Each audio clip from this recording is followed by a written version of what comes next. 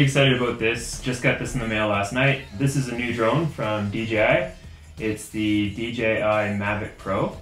And I'm pretty psyched for this one. It's actually a nice little portable drone.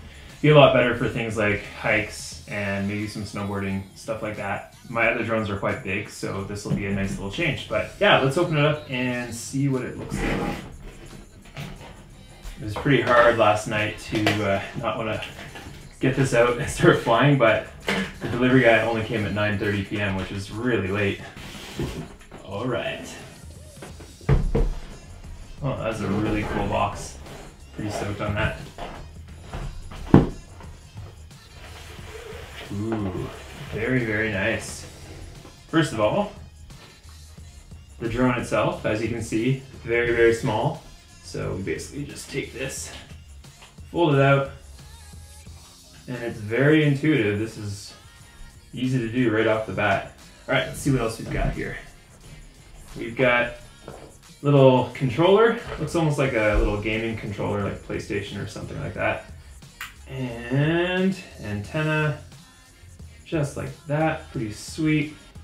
What else do we have? Cables, charging cables. I'm assuming these are manuals. We'll just ignore those. Just kidding. Read the manuals. Always important, especially if you've never flown a drone before. Charging block here. Assuming these are the other props, and they are. Comes with some spare props just in case which is great. So yeah, that's pretty cool. I'm pretty psyched.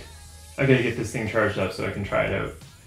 But before we do that, let's compare this with some of the other drones that I have and uh, yeah, kind of take a look at the size difference.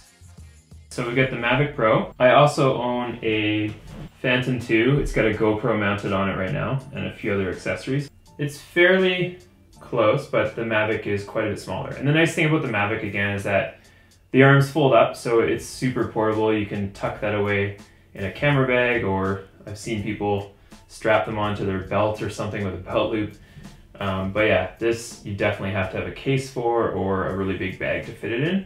Let's see what else I've got down here. I've actually got this quite clunky hexacopter. It's called a Storm 6. It's pretty stable in the air. The gimbal's not so great on this thing, but um, it did the trick. But check out the size difference between these two.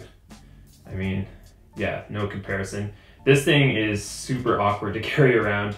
I'll tell you right now, I don't even have a case that fits this one. This one I just kind of stuff in the back of the car. It's got wires everywhere. Again, it flew pretty great. It has GPS and it's not bad. It's pretty stable but this thing has way more sensors and uh, pretty much can fly automatically. And then last but not least, we have the Inspire 1, which is pretty much my workhorse drone. I use this for professional shoots and uh, it's a great drone. It has a lot of amazing features. The landing gear raises up out of the way and it's got a really nice camera on the front which can swivel full 360 degrees and there's upgrade options for the camera as well. This one is still going to be my go-to drone if I'm doing professional client work, but check out the size difference between these two. I mean, the weight difference is huge. I uh, have taken this Inspire up hiking, and if you've watched any of my other YouTube videos, you've seen the footage from that. Um, great footage again, but trying to strap this thing to a camera bag or a backpack or carry it in its case is super, super tough on a long hike. Whereas this one, I can just fold that up, tuck it in my camera bag, or stuff it in a pocket or something, and I'm good to go. You can see when it's all folded up, it's kind of like the size of a really big cell phone, but pretty awesome. Very, very portable. All right, well, now all that's left to do is to charge this thing up and get out and start shooting with it. Let's see what this thing can do. Got power up the controller, quick little press and then press and hold. And it's on. We'll turn on the DJI Go app and connecting. Now, gonna turn on the aircraft. Simple press and then press and hold. And it starts to power up. Now, I haven't calibrated the compass on the Mavic yet, so I'm gonna do that now. And how I do that is press calibrate compass on the controller in the iPhone app and begin. We're gonna pick this thing up, turn it 360 degrees counterclockwise. Woo! And then we're gonna tilt it and do the same thing again while it's on an angle. Compass is now calibrated, just like that. All right, here we go. Let's see how it works. Ready for takeoff.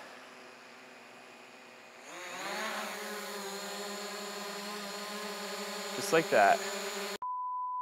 Something I noticed last night when I got home and took a look at the footage is that it wasn't very sharp. It was actually very blurry.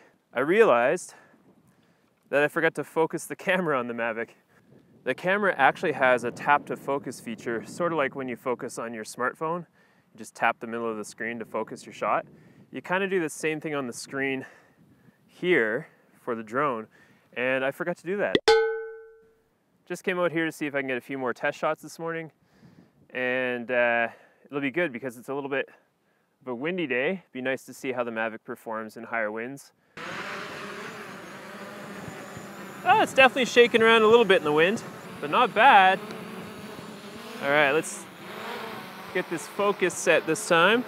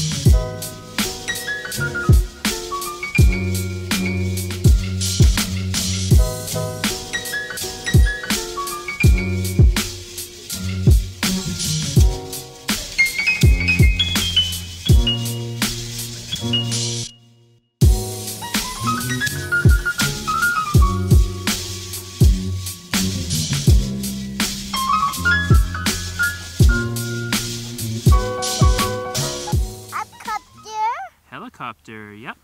Go to the sky. It does go in the sky. Fly. Are you excited? Fly up in air. Yeah. So now we're going to try to uh, use some of the special functions of the drone. We're going to try tracing us and see if it can follow us. So apparently, this is pretty straightforward, pretty easy to do. And maybe we'll try to get a photo too, hey? So apparently you can just do photo gestures. And the drone is smart enough to recognize when you make these little gestures in front of your face. Ready? Two, One. Go. Go! Whoa, ready? Here it goes. Let's go.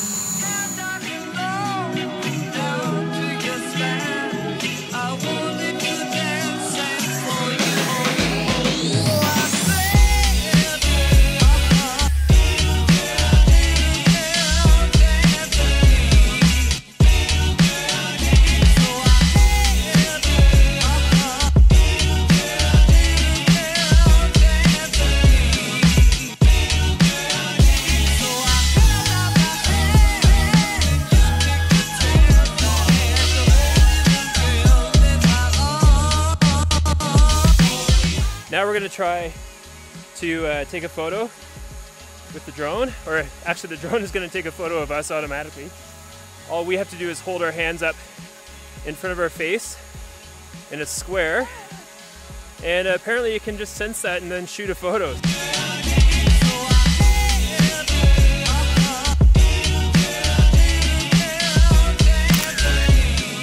So that was a pretty good flight. Definitely wish I had my second battery, but it's on back order right now. I think they're Yeah. trying to keep up with all the demand. Dad. What do you see?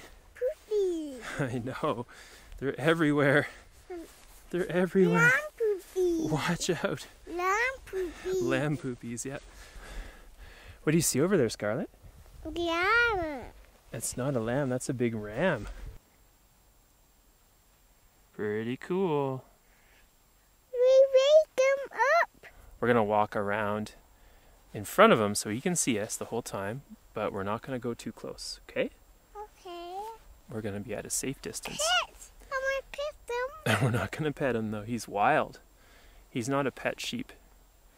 He's a bighorn sheep and he's he's a wild sheep. Ha. Yeah. Oh, I'm so cheap.